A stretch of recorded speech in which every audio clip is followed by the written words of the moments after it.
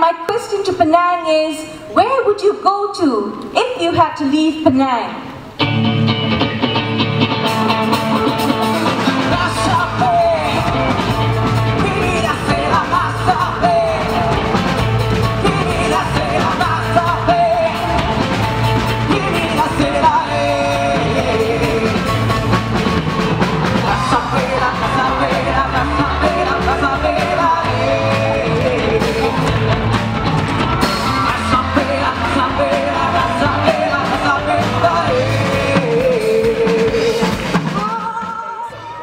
And 100% was first being presented in Berlin 2008 um, and then we realized it's actually interesting to do it in other cities too and to start comparing cities. Like then we had a series of like in German speaking um, cities like Vienna and Zurich and some other German cities. And then it started to be more international.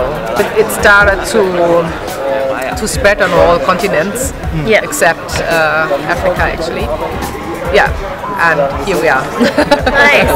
I think first of all it's it's a process of understanding Yeah. like my position but as well like uh, yeah like- like enjoy diversity maybe Yeah. like it's not only right or wrong but everybody has like even if you are completely disagreeing with an opinion there's a reason why a person Yeah. expresses that way or believes that way and I, I, it's not about you know everybody loves each other it's, it's Yeah. really about stating diversity Yeah. and um, it's important to, to yeah stand there maybe alone and say to, no but I'm convinced of that Yeah.